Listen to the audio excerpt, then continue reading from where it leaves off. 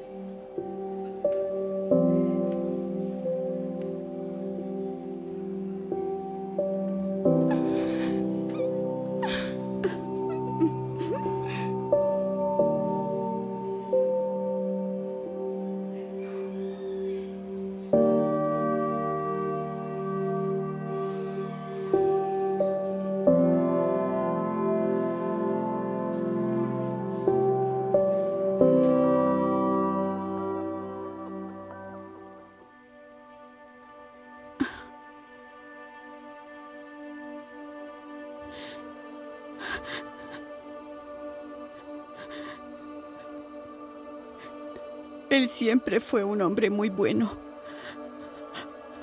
Fuerte emocionalmente. Fuerte espiritualmente. Nunca hubo ninguna tempestad que lo derribara. Su misión era proteger a nuestra familia. Y ahora nuestro hijo Samuel, de solo 14 años, es el hombre de la casa.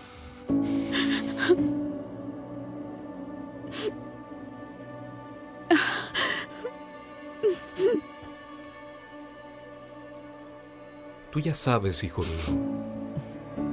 Pon a Dios en primer lugar. Y todo va a salir bien para ti. ¿Qué quieres decir con eso, papá? Nunca hemos ido a la iglesia.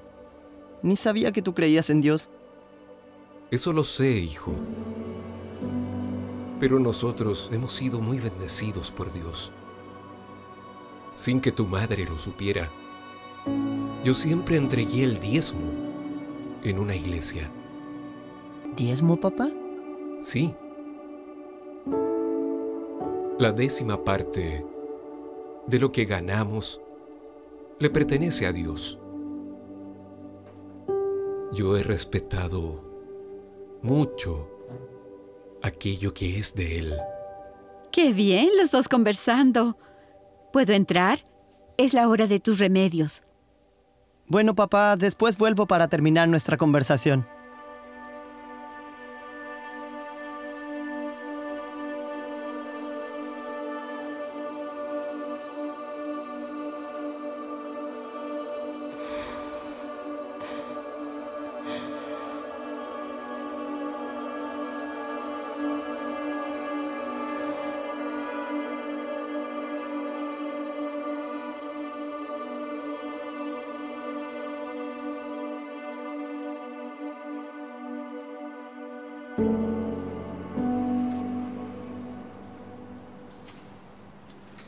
¿Cómo van las cuentas de la empresa hoy? Están en rojo. ¿Y los proveedores? Solo hoy deben aparecer unos cuatro para cobrar. ¿Y cuánto tenemos en caja?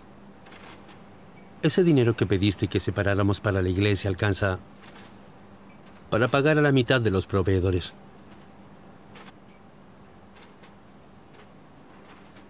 No vamos a usar ese dinero. Lo que es de Dios es de Dios. Y hoy mismo llevaré ese dinero a la iglesia.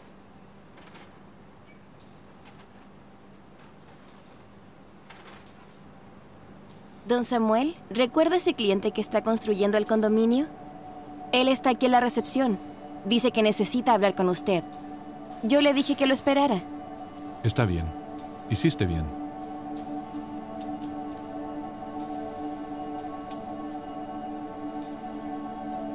Entonces, como le decía, estos son los papeles para firmar. Y si quiere ahora, puede revisarlo de nuevo, sobre todo esta parte al final. Firme aquí.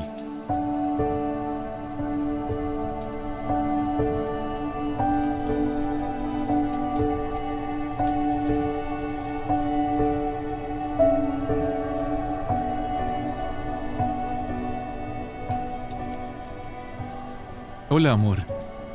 ¿Sabes que hoy no teníamos dinero en caja? Llegó un cliente a última hora y cerramos una buena venta con él. Firmamos un contrato y ya recibimos un 50% de adelanto. Eso será suficiente para equilibrar las cuentas de la empresa. Chao, amor. Hay algo que no se puede entender en la vida de Samuel Cáceres. Él aún no es miembro de ninguna iglesia. Pero hay algo cierto. Él es fiel. Aprendió a tomar en serio el consejo de su padre y Dios lo ha bendecido. Esta es una parte de la historia de Samuel Cáceres. Él está creciendo cada día en la gracia de Jesús. La vida cristiana es crecimiento. En reconocimiento y gratitud a Cristo por todo lo que es, entregamos los diezmos y ofrendas como parte de nuestra adoración.